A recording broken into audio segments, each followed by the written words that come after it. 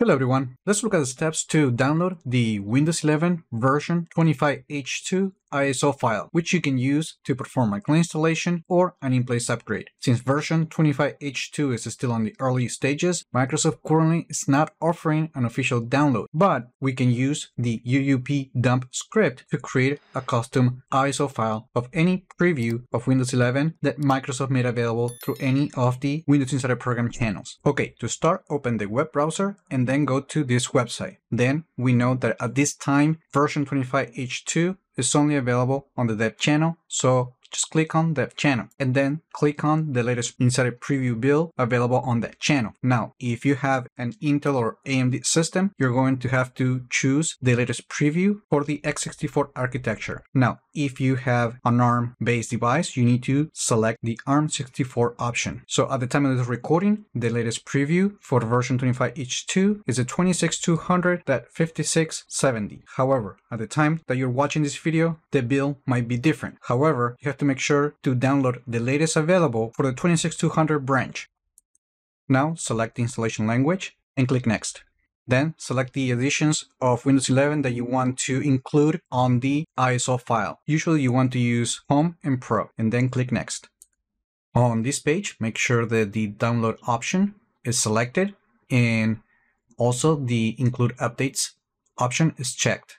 Then just download the package.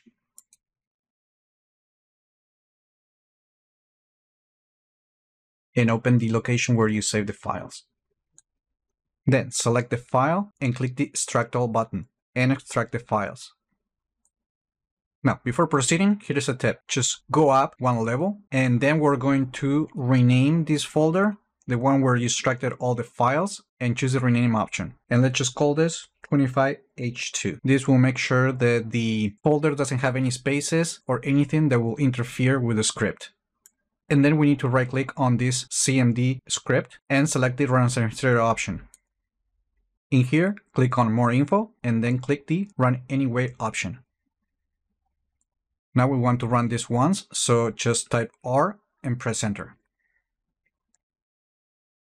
Now what's going to happen is that the script is going to download all the required files to install the latest preview of Windows 11 version 25 H2 from the Microsoft servers and it's going to create a custom ISO file. And that custom file will be available on this folder. Now, how long this process is going to take? Well, that's going to depend on your internet connection and everything that the script has to do to create that ISO file. However, it could take anything between 15 to 25 minutes and even a little bit longer. So be patient. Now, while the script is downloading the files, what we can do is to open another tab and try to download the Rufus tool, which is the tool that we're going to use to create a bootable media.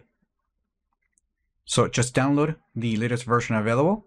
And then we need to connect a USB flash drive with at least 8 gigabytes of storage and make sure that nothing important is on that drive because everything will be deleted. Just double click the file to launch the tool and I already have a USB drive connected to the computer. Now, when the script finishes processing all the files, you just need to press zero and then press enter to exit the terminal. So to speed up the process of this tutorial a little bit, I already downloaded an ISO file for the same build. So I'm just going to click select. You can see right here that I have the folder with extracted files and I downloaded the latest preview build for Windows 11 version 25H2. So I just need to select it and click on open. And the only thing you have to do, and this is optional, just change the label of the USB drive to Windows 11 25H2 and click on start. And finally, just clear all the options if you are planning to install Windows 11 on a computer that meets the minimum requirements. Now, if you have unsupported hardware, you can check this option and that will bypass the requirements. And then just click the OK button to create the bootable USB media for Windows 11 version 25H2.